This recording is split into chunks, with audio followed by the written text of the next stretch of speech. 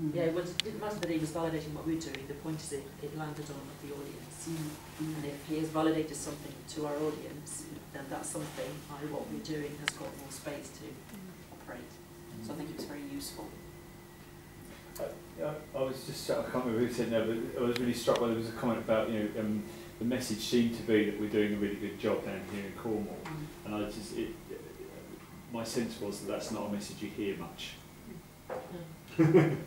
Um, no, no, it's, no, I, I, I'm just reflecting what, what I was hearing, but um, Well, no, when you hear about, oh, sorry, No, when, no. when you hear about RCHT going, you know, about needing improvement and failing Yeah. thing, and, and you, you only hear the bad news and yeah, yeah. some scandal or, you know, our Mm. maternal mortality rates or whatever, you know, there's some, always some kind of, in the press, Yeah. look how, look how rubbish it is. Yeah, yeah, And actually, my impression is that there are these system leaders coming through and support from yeah. on high that is supporting us ground up. And there's a there's an optimism, maybe misplaced optimism, but there's optimism and there's Yeah, a bit of I, I don't know if Jim feels that some of the meetings we go to and you, you get the feeling that there's a bit of momentum and there's this there's this chance to make these changes. Mm. So yeah. I think we don't shout about it what Yeah. we're good at. Well, I guess that, I guess that's what I was going to lead on to say is that actually, you know, who feeds those messages into the system, um, and, and if we're not hearing them, how do we start to actually push that out to the system? Because my, my sense, as you, I think it you said, it wasn't it? Um, when, when you hear that, kind of makes you feel good, and when you feel good, you respond and do things in a different way.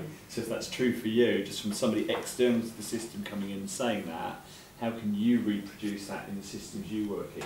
And it's obviously appropriate sometimes to be highlighting stuff that isn't working, that's absolutely right, but how much do we focus on the stuff that's going really well and actually, you know, just by kind of talking about it and mentioning it, actually put something different into the system that makes it do something different. And, you know, it's great having some big person from outside doing that, but actually we can do that. How Um, about, how about the people who presented? Jim? No, I would just echo Penny's point. You go to these meetings with, with when we've got our sort of commissioning hats on, and it's the you know the ten targets where we're the worst performing CCG in the country. Okay, why don't we look at some of the ones where we're performing really well and analyse why we're really good at that, and then take that to some of the other ones. But we mm. never do that. Mm-hmm. We only kind of have the big stick out, whether we're beating ourselves with it or mm-hmm. someone else is mm-hmm. hitting us with it. So I think you've got to be able to analyse what went well, and that's and it was great to be kind of benchmarked as, as by this external person that never met us before who went, we were ahead of the game. That was really Yeah. positive. Mm. So.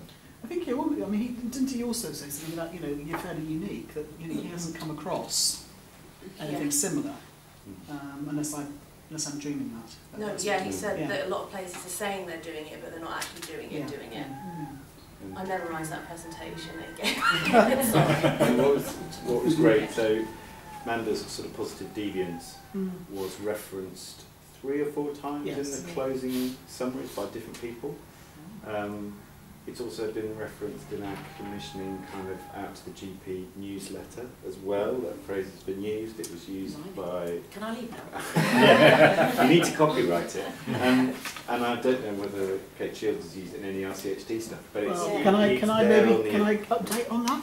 Um, because she has.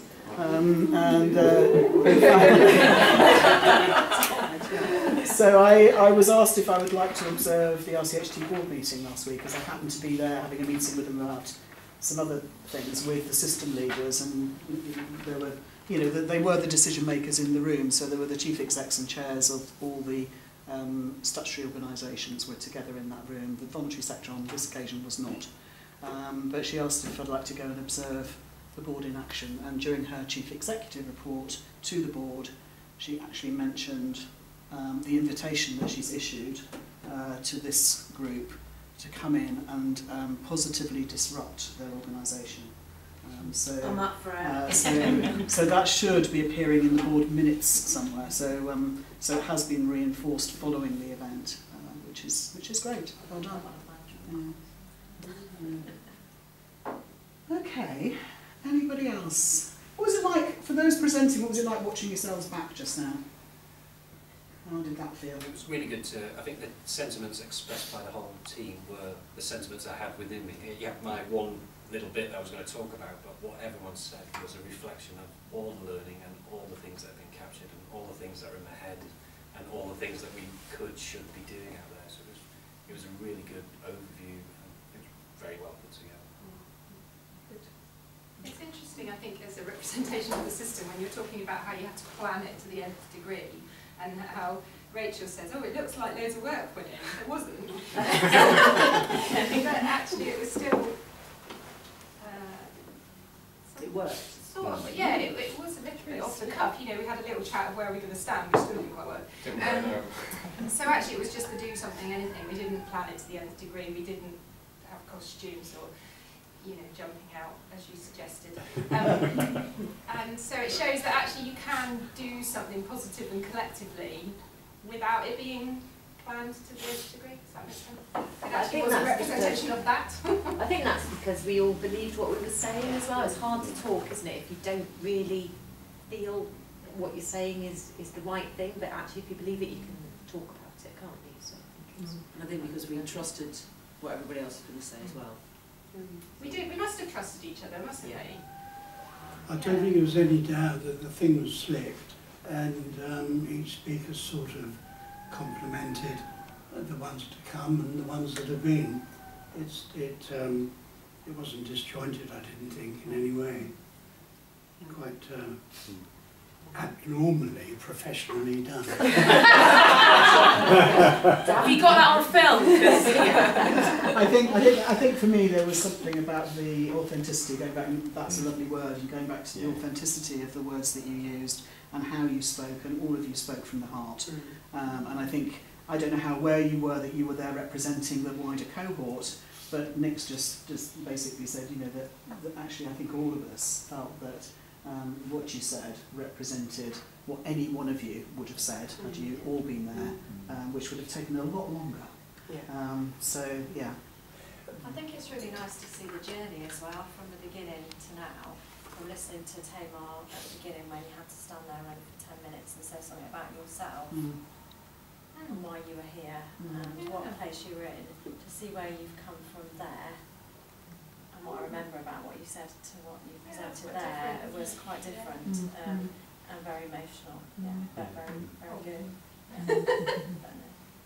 And I, I think it's something really interesting what you were just saying about the planning, because I think for me the planning was you've been sitting in a room together for the last six or seven days, um, getting to know each other, developing trust, all of the things you just mentioned. So there's a sense in which when we talk about planning, there is a, there is a kind of a, a, a concept of planning which isn't necessarily a piece of paper with a plan in it, but it's actually just we know each other and so we can move forward together and we can be coherent because we've developed the relationships. And that's that is part of the planning. And I think if you take that out again into your system so actually the system starts to shift when we've and we've talked about it numerous times this morning but we've got those relationships there. We don't have to have the big plan. We've just got a sense of we're moving in a direction together. We've got each other's backs. We talk with authenticity um, you know, and, and, and something starts to shift. And it might, might not always go exactly as we expected it to, but actually the planning is in place. We've done the hard work in building those relationships. And that, that's part of the planning as well. Yeah. Yeah, it's, it's very powerful. I think if you want to get an emotional message across, as Tim and Michelle had, then it was I. But the rest of the time, all the way through, was was much more collective. We. Yeah. It was great. Yeah. Yeah. And that wasn't. I don't think that wasn't rehearsed No. at No. all. That wasn't a theme that we decided upon. It's a change in thinking. Mm. It's a change in yeah, Mm. attitude. Yeah. Wonderful. Okay. Have we done that now, do you think? Anything else to say? Because we're What, keen how to... about it? Sorry? What was the conversation that you wanted to share? Partly, partly the update um, on, on Kate